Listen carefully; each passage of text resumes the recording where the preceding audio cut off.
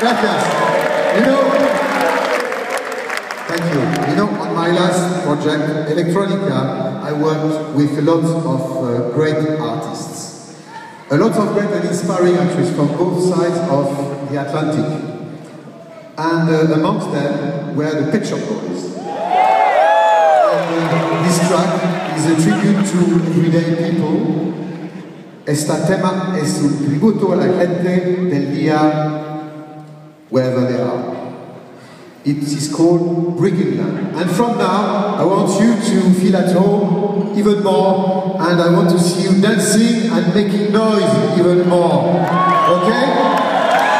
Gracias.